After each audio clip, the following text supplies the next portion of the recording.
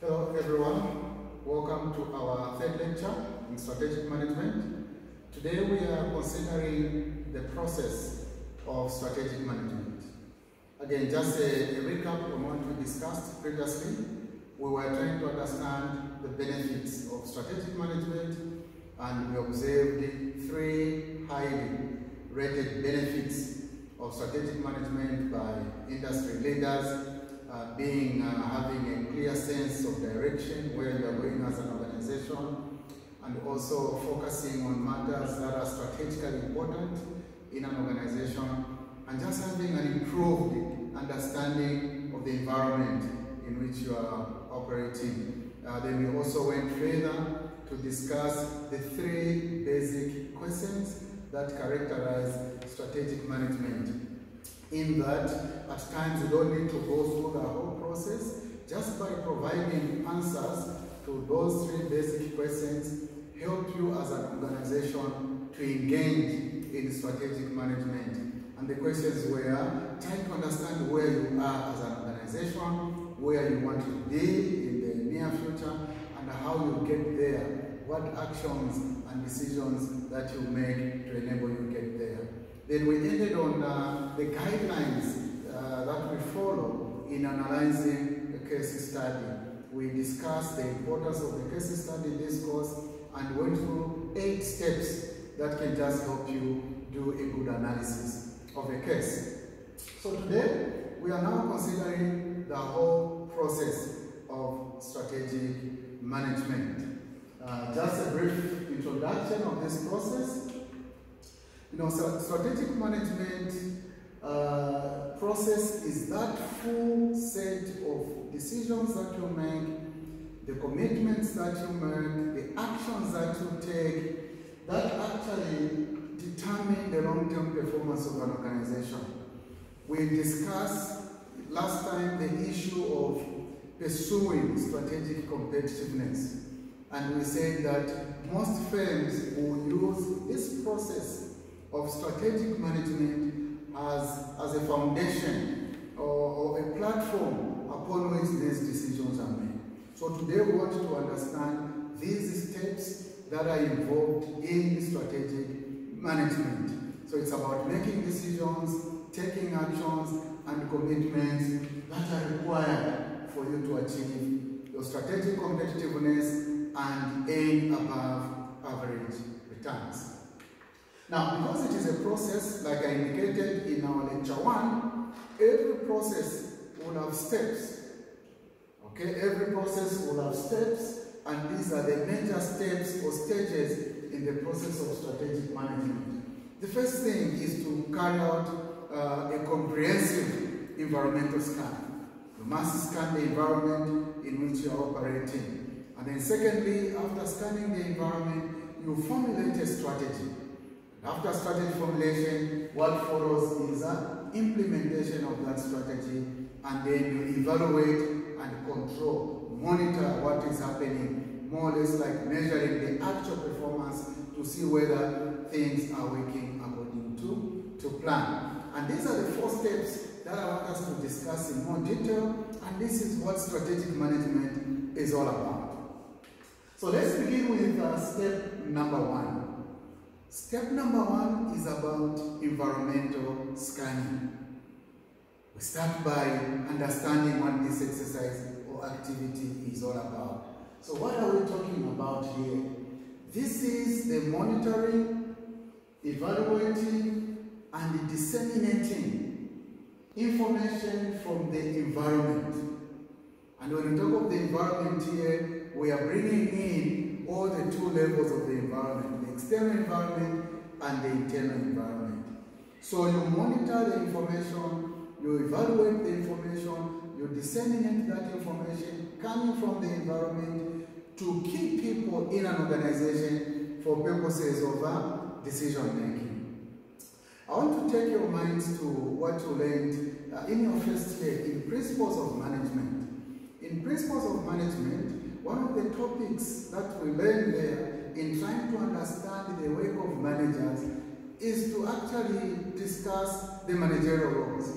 Managers carry out certain roles, and a man by the name of Henry Mintzberg, um, a long time ago, uh, brought out these managerial roles and classified them into three main categories. So managers carry out the interpersonal roles, the informational roles, and the decision roles. Now on the informational roles, that's where we see this aspect of monitoring the information, the sources of information uh, in an organization, and disseminating that information to key people so that decisions can be made. So whenever we are doing a scan or an environmental scan, we are trying to analyze or assess this environment. So what is the purpose of conducting an environmental scan as a step number one in our process of strategic management?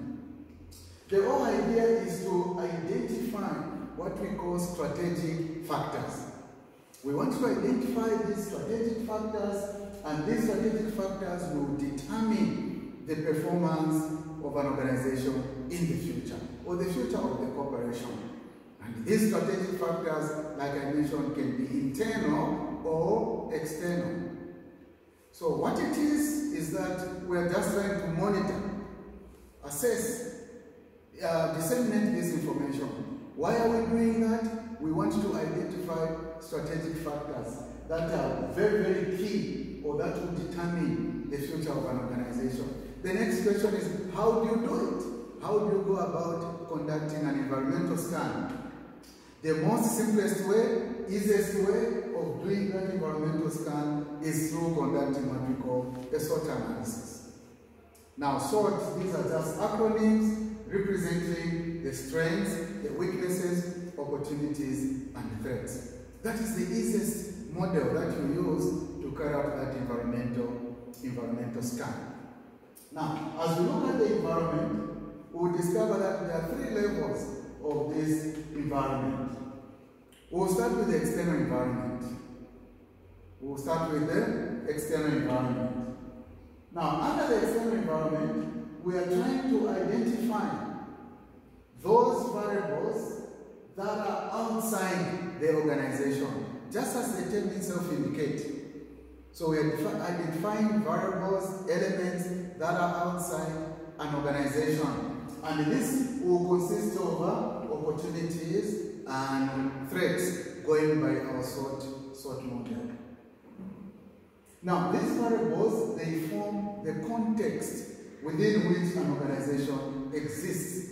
Remember, we're trying to understand the environment. We want to know where we are as an organization. So we start by identifying these opportunities, these threats, which are external to an organization because they are forming or representing the context within which an organization is uh, existing.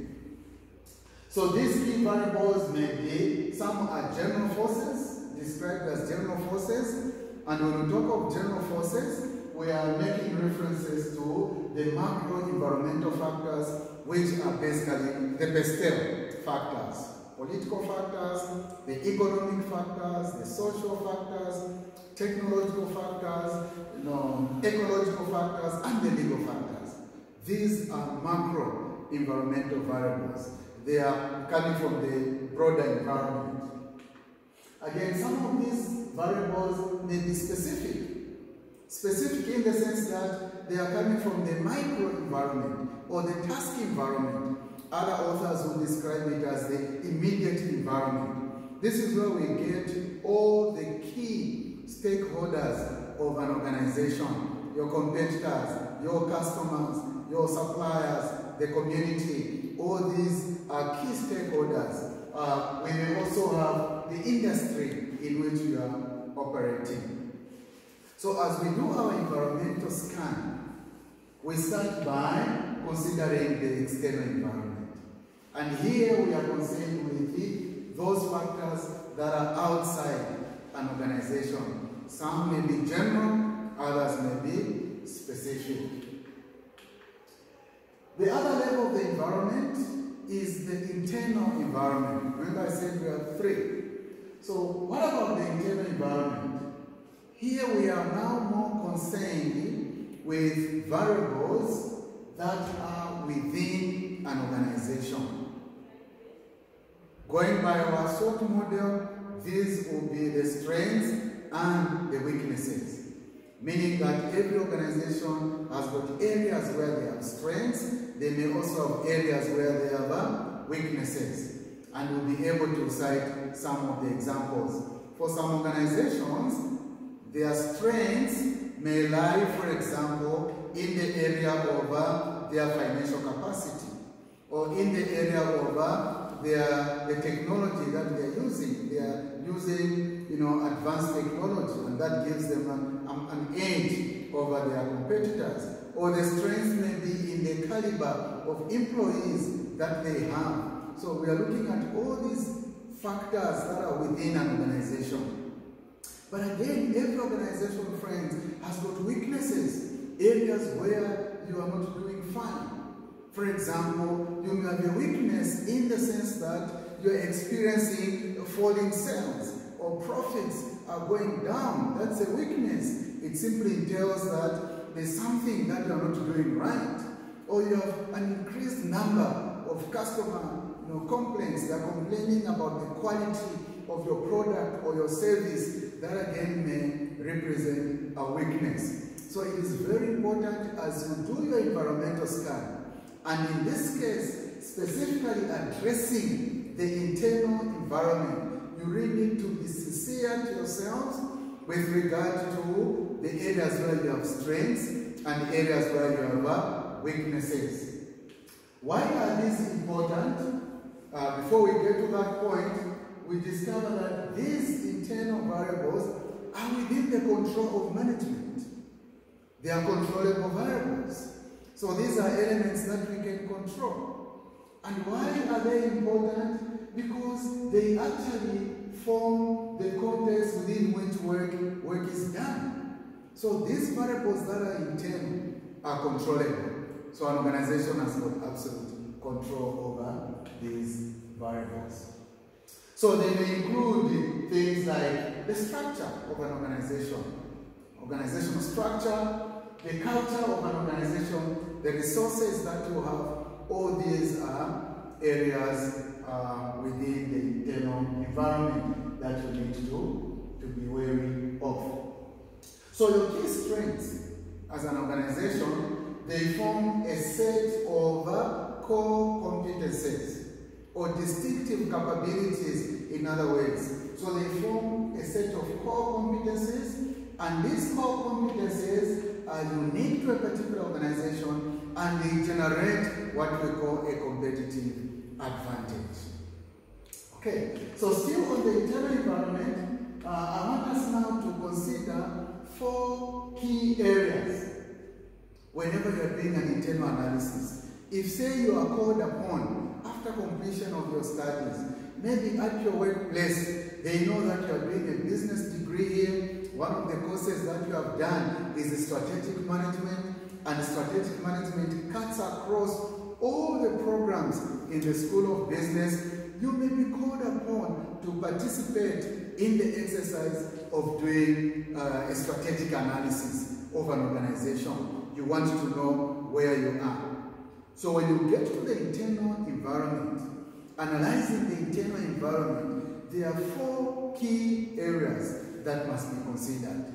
Number one, you really need to revisit or check an organization's resources. What resources do we have as an organization? Uh, when we talk of resources, dear friends, resources can be, can be tangible, resources can also be intangible. So when you talk of tangible resources, these are physical assets that you have, like, like the machinery that you have, the buildings that you have, the vehicles that you have, all those are physical assets uh, that an organization may have. But we also have assets or resources that are intangible, like the goodwill, the reputation of an organization. That is an asset. You know, for you people that are doing accountancy, you agree with me, whenever you are doing evaluation of an organization in terms of its asset, you also consider the intangible assets, uh, which are just like the goodwill, the reputation, the good name that you have created as a business. So consider that. Then you may also wish to look at the capabilities uh, that are within an organization. Here we may make reference to things like, like the industry-specific skills that your employees have, the skill sets, the organizational knowledge that employees have. Now, this give, uh, you know, uh, give an idea of the capabilities that you have. Now, these capabilities largely are intangible. You can't see them. So if you have employees that have got uh, experience, they've got organizational knowledge, they have worked in that industry for a long time, you need to hold them because they are contributing immensely to an organization. And because of those capabilities, a company may actually do, do better. But you may also have what we call core competences, which is just a combination of your resources and capabilities. So when you're doing your internal analysis, consider the area of resources, capabilities, and competencies. The second area which is very critical in your internal analysis is basically understanding how an organization coordinates and configures its value-adding activities. Now, when we talk of value-adding activities, there's one model that we learn in strategic management developed by Michael Porter. And this model is called the value chain analysis. Michael Porter developed that model in 1995 just to help us understand the various activities that are undertaken in organizations and how those activities relate one with the other. So from that model, we learn that there are some activities in an organization that are primary, others are support activities. So you really need to identify these activities. Which activities are adding value? And you want to channel most of your resources, your energies, your investment in value-adding activities. That is another key area that you consider. The third one is the organizational structure and the characteristics of its culture. Why structure? Why culture? When we get to implementation of strategy, even if you come up with a very good strategy, a winning strategy, but if the organizational structure is faulty, it's not well designed. For example, there's a lot of bureaucracy, red tape, and uh, things cannot be done efficiently. That hinders the successful implementation of strategy. But you also need to consider the culture. Culture has got components like the attitudes of people, the, the, the belief systems, the value systems. If people have got a negative attitude towards work, even if you come up with a very good strategy, implementation may be a challenge. So when you're doing an analysis of the environment, internal environment, consider the culture of an organization as well. That is very important. The third area, I mean the fourth area of consideration under the internal analysis is the performance of the organization. Now the performance of an organization will be measured by the strength of its products. In management studies, and when you're looking at the uh, systems theory, an organization is considered as a transformation process. So we have inputs that come from the environment, get into an organization, transformation takes place, and then what is channeled out of that process are outputs in terms of products that go back to the organization, I mean to the environment. So the performance of this organization will be measured by the strength, the quality of the output, the products that are coming out there. Friends will agree with me, there are some products that have been on the market for decades, some of them centuries. And these products have become like household names whenever you are buying certain products.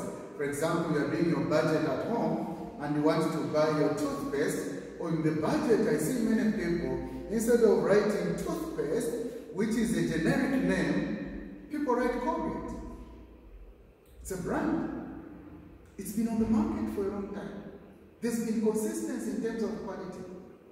So the, the performance of the company is measured by the strength of the product, what is coming out there. So these four areas are very, very key whenever you're doing your internal analysis. Resources, capabilities, and core competences, then what activities are undertaken in an organization, those value-adding activities, the organizational structure, the culture of an organization, and then the strength of the products, which will help us determine the performance of the organization. Still on our intent, on our environmental scan, remember we are still doing our environmental scan, which is step number one in our strategic management process. So far, we have just discussed the external environment and the internal environment. The other aspect of the environment that you must consider is what we call the competitive environment. Now, why the competitive environment? Competition is another factor in a company's environment that can present opportunities or threats to a firm. Actually, when you ask any person who is doing business, if there's one thing that business owners don't want to hear about is competition. Because what competition does is that it takes away your customers. And the net effect will be on your profitability. Profits will go. So competition is also considered as another factor in the environment that can present an opportunity or a threat to a business. Now, how is competition an opportunity? How can competition present an opportunity? Competition is an opportunity when this particular firm or a company has what we call a competitive advantage over its rivals or over its competitors. So if in an industry we have four players, A, B, C, D players or companies, so if company C has a competitive advantage over these other three, so even if company C is facing competition, for them that is just an opportunity because they are not scared by the moves or activities or actions of these other competitors. They have a competitive advantage. Okay? Now remember we said competitive advantage is achieved when a company formulates and implements a value-creating strategy. Or when this organization, in terms of profitability, it's making above average profits in that particular industry, then that company is said to have a competitive advantage.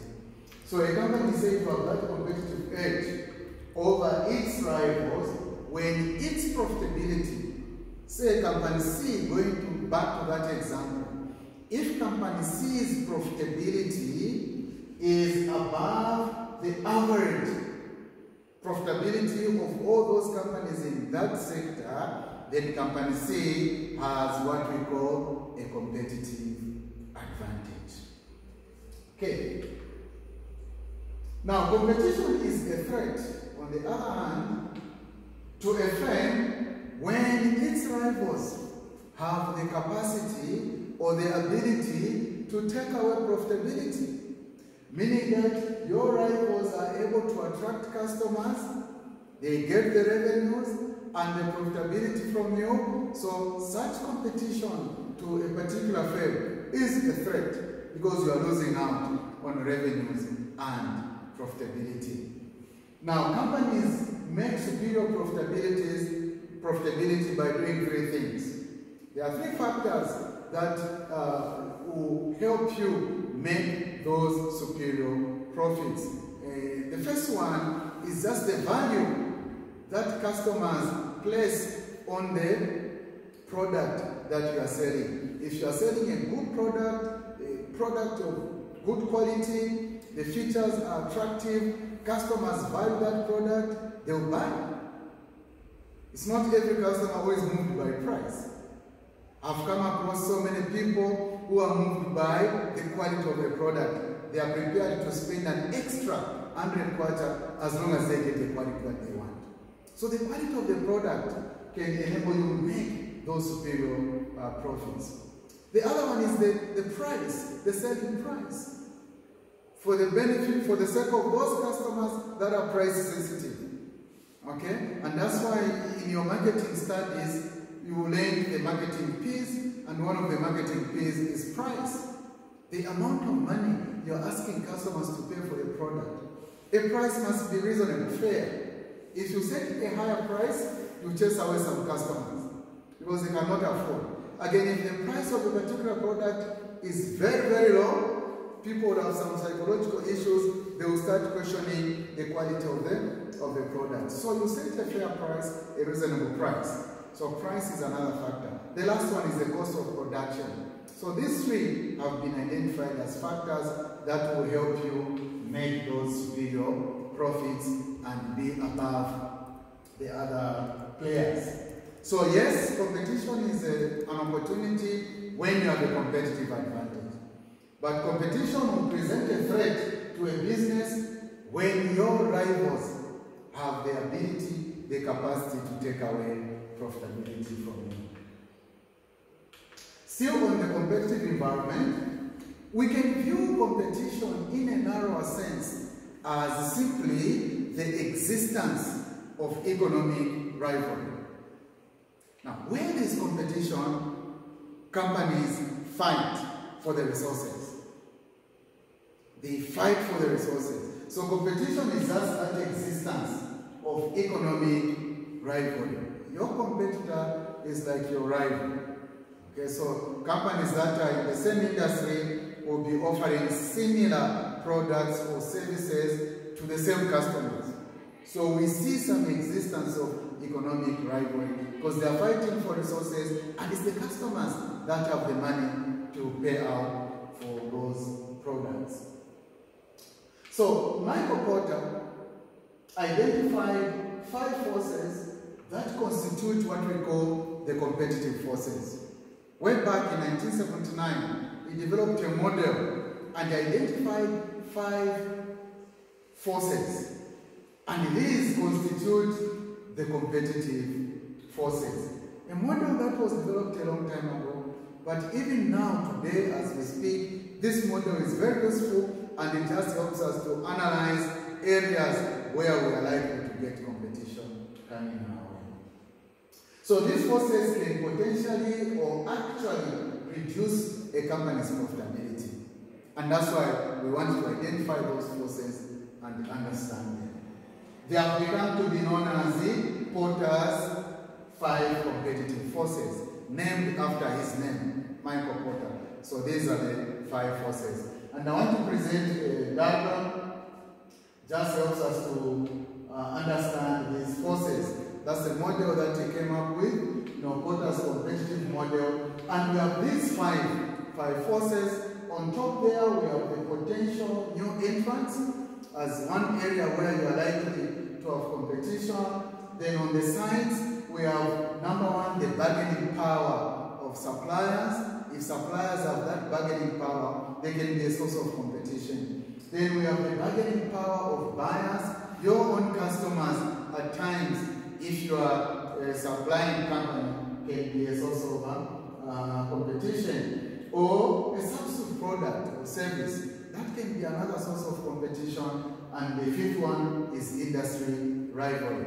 Now, you have these notes in your, in your, on the portal, in the slides, and the Word document, but I just want us to do a quick run through of these five forces, and then in the next lecture, we'll be able to discuss now step two, which is the strategy formulation. So let's quickly run through these five forces. The first one is the threat of new entrants. What do we mean there? So the threat of new entrants refers to the risk of entry. Now, let me mention from the onset, this model helps us to analyze the industry in which we are operating. When you want to analyze the industry, the attractiveness of that industry in terms of profitability, this is the right model to use. So do not use this model to do an analysis on one organization. It's a model that helps us to analyze the industry in which we are operating. So when we talk of the threat of new entrant, we are referring to the risk of entry that is posed by companies that are outside an organization. They are outside the industry. They are not yet there in the industry, but they are showing signs, indications that they want to come in. And then when they get into the industry, they actually become a source of uh, competition. Now, these potential entrants, we are calling them potential entrants because they are not yet in the industry.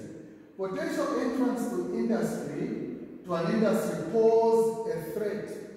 They normally come with one objective. And the objective there is to gain market share. Maybe they've done some studies and identified that this industry is very attractive and they want to come in and get a piece of that cake. So they will come in with two strategies. The objective is to gain a market share, part of the market.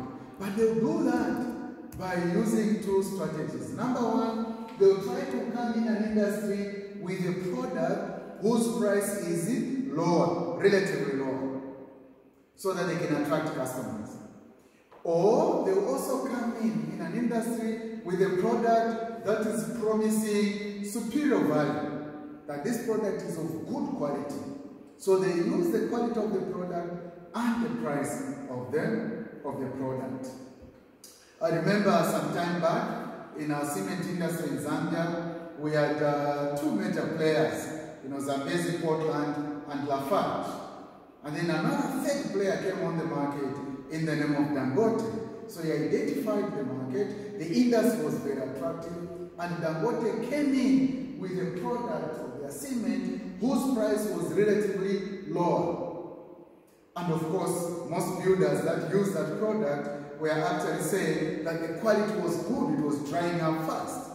So each time a new entrant is coming, they come with the objective of grabbing part of the market and they use two strategies. Play around with the price and also the quality of the, of the product. Now when that happens, it has that effect of customers shifting. So we see customers shift and when customers shift, profitability also will go away from the firms in that industry to the newcomer that has just come in. That is a natural thing that we expect. When customers taste the product, they are happy. We see customers shifting. And when customers shift, the revenues go and profitability also go. That's why these new entrants have been identified as a, a source of competition.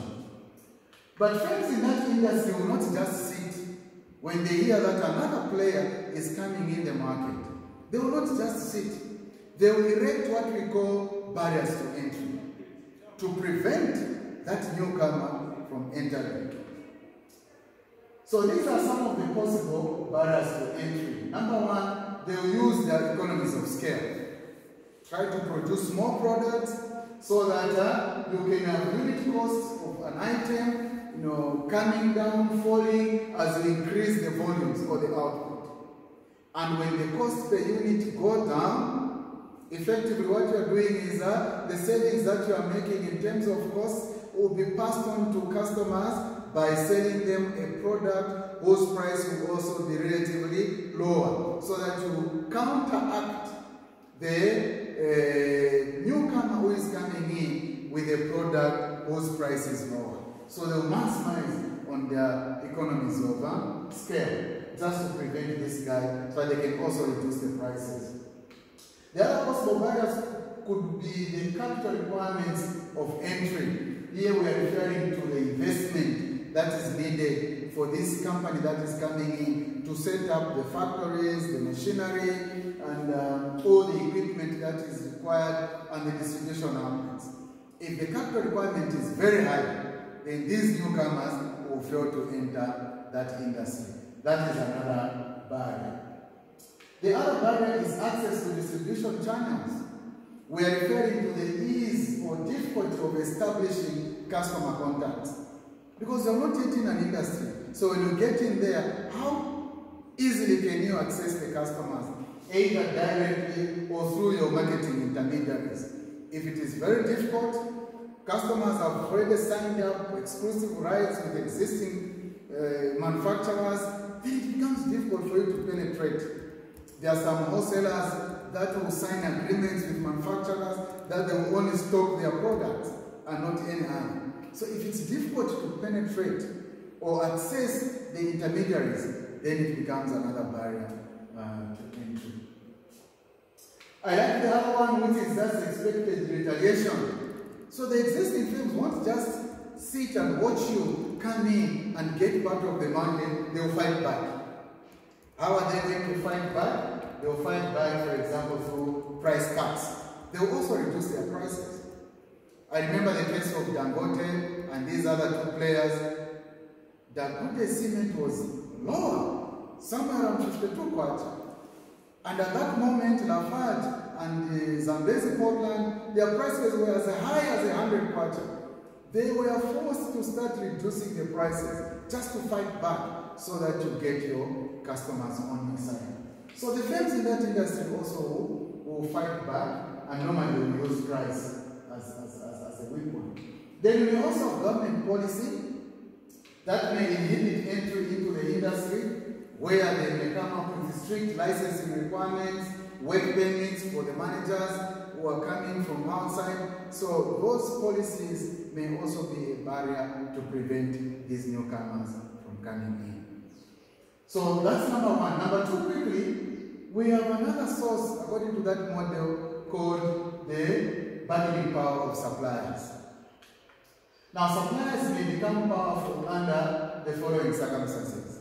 When suppliers are supplying a product that is unique and the switching costs are high to a buyer, then suppliers will have an advantage when it comes to negotiating.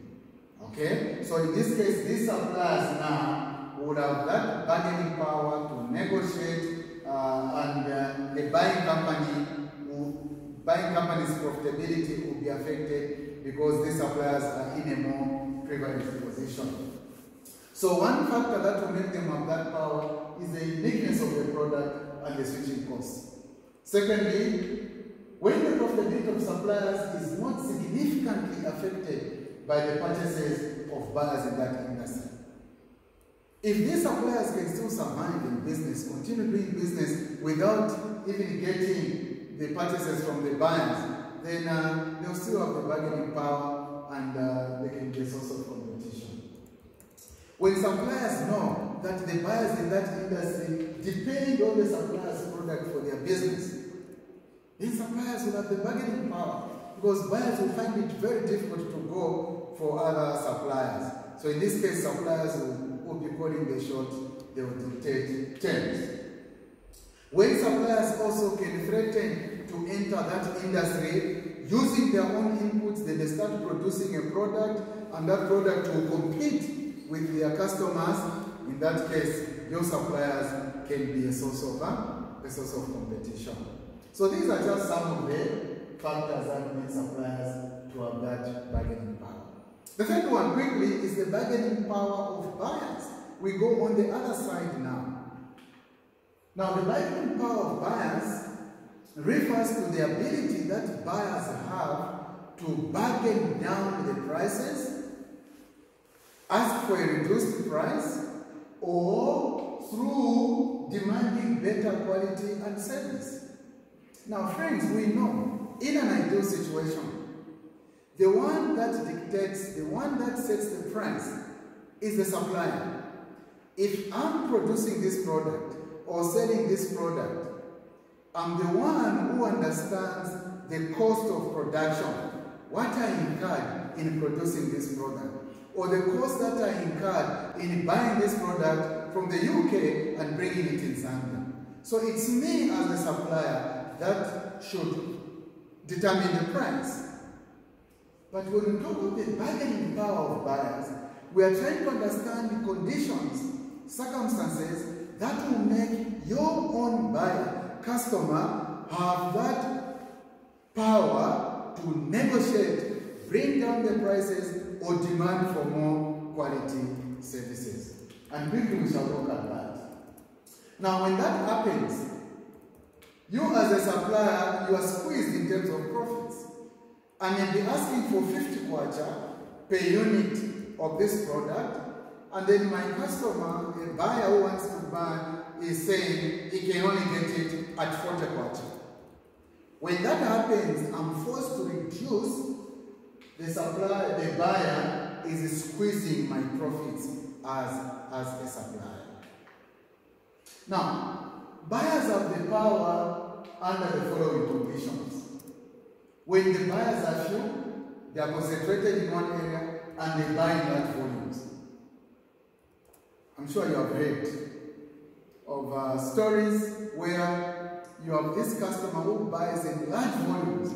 Maybe this person or this business owner may be in the northern part of Zambia. And the manufacturing company is, for example, in southern province, like Zambia Sugar PLC. So this person, because he buys in large volumes, can actually dictate that I want to buy the sugar and you must deliver on site at my doorstep. So when the buyer buys in large volumes, naturally they have that power to actually squeeze the profitability of the supplier. Because they will, they will demand that certain services be extended to them. And if you refuse, they will say they will buy from other, other suppliers. And because once you do that business, you are forced to uh, just reduce. When the products that are bought are standard products, they are not differentiated, then as a buyer will have a choice. If supplier A is not giving, a, giving the buyer good terms, and the buyer knows that this is just a standard product, it's not a new product, I can easily get it from supplier B, the buyer will have the bargaining power.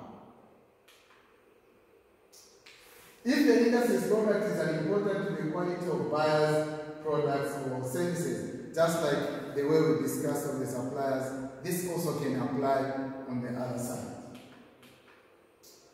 The fourth one is the threat of uh, substitutes. Now, substitutes are products of different industries or businesses that can potentially satisfy similar customer needs. Others have simply said a substitute product is the best alternative. It's an alternative product. Now, product substitution can take the following forms. We have what we call product for product substitution. Example, in the past, we had postal services. Whenever you wanted to communicate with people, we were writing letters, go to the post office, buy your stamp, and you post your letter, and the Postal Services Corporation was providing that, that service. That was replaced by fax mail. Later on replaced by emails. We don't even go to the post office anymore. So that is product for product substitution. And that's how maybe our company now, Postal Services, is struggling in terms of those traditional services because of these other products that have just come in as substitute, substitute products. Again, we have a substitution of a need by a new product. For example, in Zambia, our staple food is meal.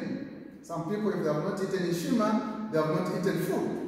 Okay? So maize can be sub substituted by another product, cassava, which is substituting that need for nshima food. So you can have substitution of a need by a new product, uh, like those examples that are given. Then doing without may be another example of substitution. Like for example, some people, because of health reasons, they may stop taking certain foods or taking maybe alcohol or drinking uh, beer or smoking. When you stop, you actually start consuming other products.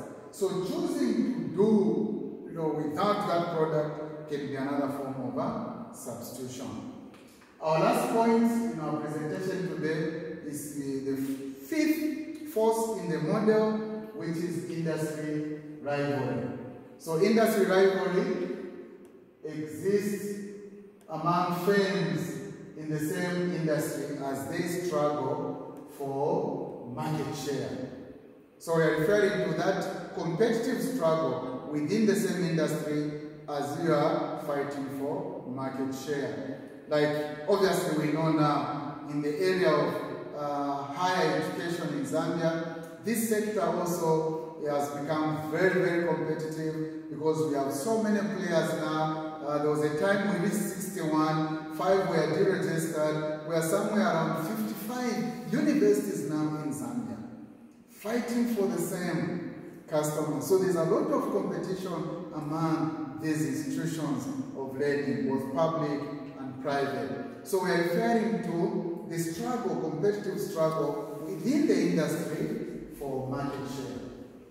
That struggle may be through the following price competition. You may compete on the basis of price. Just a little difference. Remember I said we have a lot of customers that are price sensitive. Just a difference of one quarter, two quarter, they'll move away and go and buy uh, from another, another place. You may compete within the industry on the basis of uh, after-sales service, the care that customers receive after that transaction. That customers are promised a bundle of benefits that we are not only giving you a product, but that these other services that you can get after the transaction. The other one is on the basis of product design. The way a product is designed, maybe the package is very attractive, it's got attractive features. That can be another basis upon which companies may actually fight for market share within the same industry. Product differentiation, innovation. Uh, I want to give an example of the automobile industry. We have seen how these companies are competing. You know, when you look at the pickups, they just look like the same. There's a VW pickup, a Hilux pickup, a Ford Ranger. They're just bringing in different features. The face is changing, the grill is changing, and just that innovation, that differentiation may attract other, other customers uh, away from those companies that are just offering a basic product. And that's why most companies now are bringing in a lot of these extras to go with the product that one is bought. The struggle, competitive struggle may be on the basis of advertising, sales promotion. How aggressive are you in your advertising? What methods of advertising are you using? What channels are you using? What about sales promotion campaigns? Uh, I see some companies engage in sales promotion activities.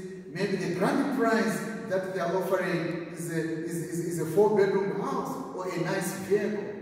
So if you are in the same industry, your friends are offering a nice vehicle as a grand prize in that sales contest, and then you offer a bicycle, obviously, you may not attract a lot of customers. So companies are, are fighting on the basis of uh, these sales promotion activities that are taking place.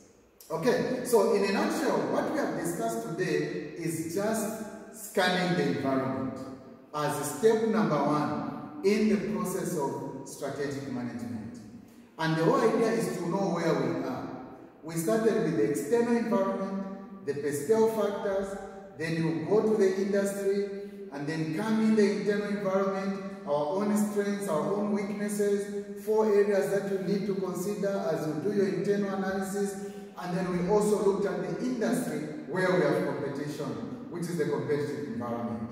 So we have discussed all that. The idea is to understand our strategic position. Where are we? The next lecture, lecture 4, we'll be able to now start looking at the process of formulating a strategy. Strategy formulation. What is strategy formulation? What is involved? What do you do? Until we get to the, to the fourth step in the process. I encourage you again to go to the textbooks, after watching the video, get to the textbooks, get to the notes that we have given you so that you can now get further understanding and more illustrations in uh, the course that you're taking. I'll see you next time. Thank you for your attention.